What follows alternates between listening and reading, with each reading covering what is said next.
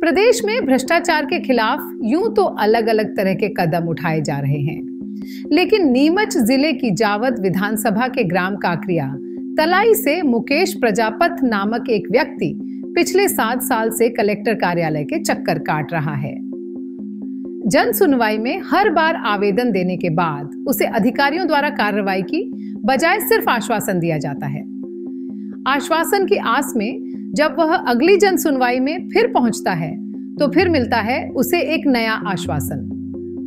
आखिर पीड़ित व्यक्ति जिसने भ्रष्टाचार को अपने गाँव से जड़ से खत्म करने के लिए मुहिम चलाई, उसके अंतर्गत जब पानी सिर से ऊपर गुजर गया और उसकी शिकायतों को अधिकारी हल्के में लेते हुए कभी कोई उचित कार्रवाई नहीं कर पाए और लगातार चक्कर काटकर परेशान होते हुए मुकेश प्रजापति ने जन सुनवाई में एक अनोखे अंदाज में बिना शर्ट पहने एक हज़ार पुराने शिकायती आवेदनों की माला को पहनकर लौटन करते हुए कलेक्टर कार्यालय परिसर में दाखिल हुआ, जिसे देखकर हर कोई दंग रह गया।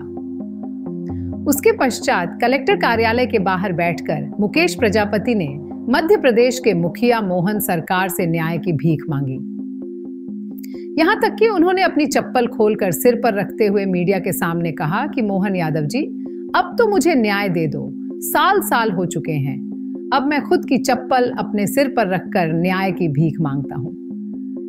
इस हालत को देखते हुए एक विचारणीय प्रश्न ज़रूर मन में आता है कि क्या न्याय के लिए आम आदमी को इस तरह परेशान होना पड़ेगा? मैं देश के लिए कर रहा हूँ। निजी स्वार्थ नहीं है मेरा।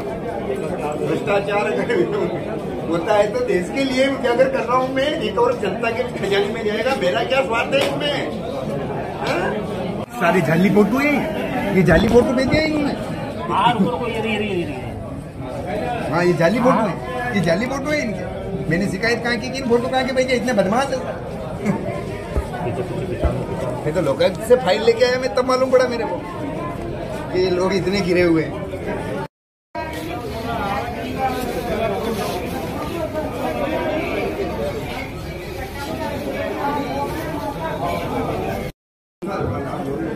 चप्पल वाला भी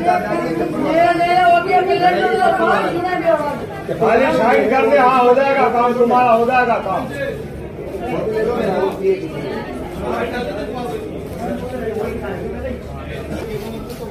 क्या करे बेचारा गरीब क्या करे बेचारा अब एक